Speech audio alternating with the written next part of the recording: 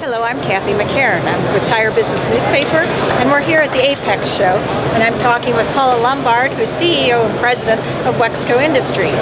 They're exhibiting at AAPEX and introducing some new products. Could you tell us more about that? Yes, Kathy. Um, we have Autotex Pink Wiper Blades, which is in the third year. Um, we have been a bronze sponsor for the National Breast Cancer Foundation for the first two years.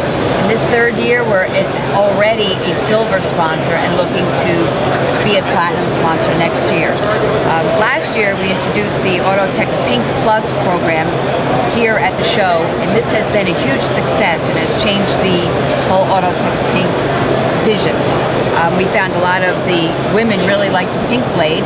So when we started the program, we actually brought in black blades because Wexco Industries original equipment supplier of wiper blades. And we have a black ribbon on our black blades.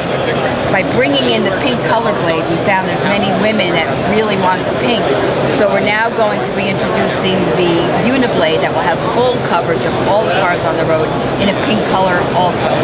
We had very, we had many women who were very upset that they couldn't put the, the, style that they needed on their car in pink.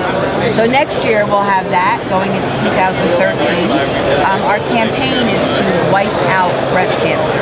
Um, we feel we're really starting to make an impact and helping a lot of uh, people out there. So it's, it's a very rewarding program. Um, with that being said, we're adding new products. We have a washer tablet green program where one tablet makes one gallon of washer fluid, uh, 20 below important. We'll have that. Um, so this is green. We'll save on the carbon footprint. And um, we really feel we are going to make a difference in our campaign to wipe out breast cancer. Great. And a portion of the proceeds from all these products go to the breast to cancer? the National Breast Cancer Foundation in the United States. So any sales in the United States go to the National Breast Cancer Foundation. And in Canada, which we're doing a great we're starting to really make inroads in the Canadian market. We work with the Breast Cancer Society of Canada. So all sales in Canada go to the Canadian people, all sales in the United States go to the American people. Great. Thank you very much. You're welcome. Thank you very much.